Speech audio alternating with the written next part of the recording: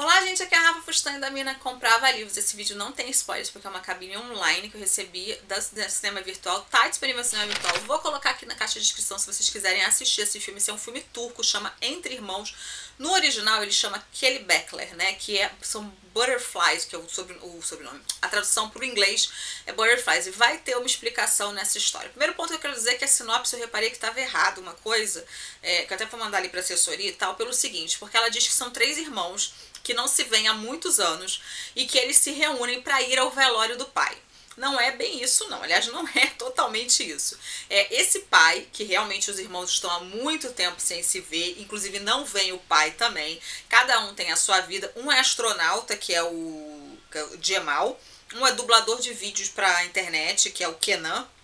E uma é professora de jardim de infância, que é a Suzy que é Susan Suzy, né? É, ela, ela é casada com Henry e ela assim tá, ela não aguenta o marido dela, ela acha o marido dela um saco, o casamento dela tá uma bosta. Eles resolvem se unir após uma comunicação do pai, então, ou seja, o pai tá vivo ainda, dizendo que precisa ver os três. Então, assim, um convence o outro a ir numa road trip, porque o pai mora numa vila afastada, é, e a mãe deles também morreu. A gente vai saber também como a mãe morreu lá na frente, que é bem pesado.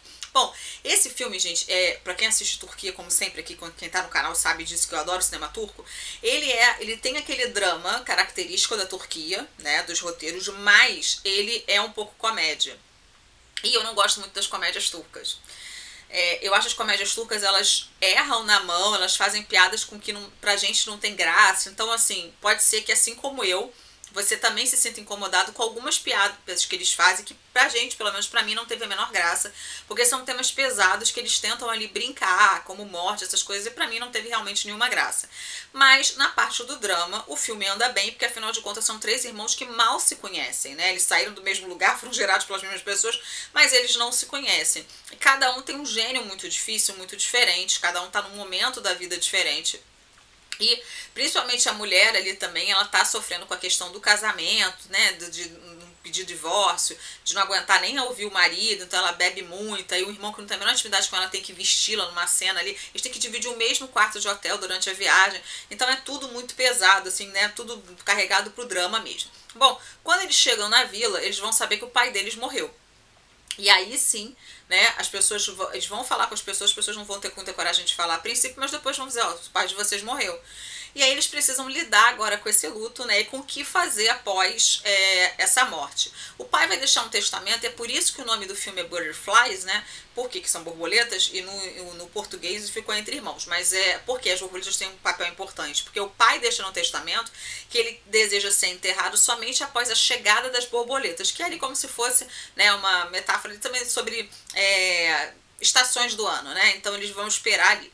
Só que durante essa caminhada, eles vão descobrindo mais sobre o pai, sabendo mais coisas que eles não sabiam, se arrependendo também de não ter tido contato.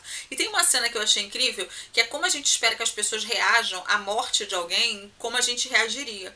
Então, por exemplo, quando os três ficam sabendo e nenhum deles chora, as pessoas ali ficam que tipo de filhos são esses? Só que eles nem sabiam que ele tinha um filho, que ele tinha, que esse homem tinha filhos. O nome desse homem é Mizar.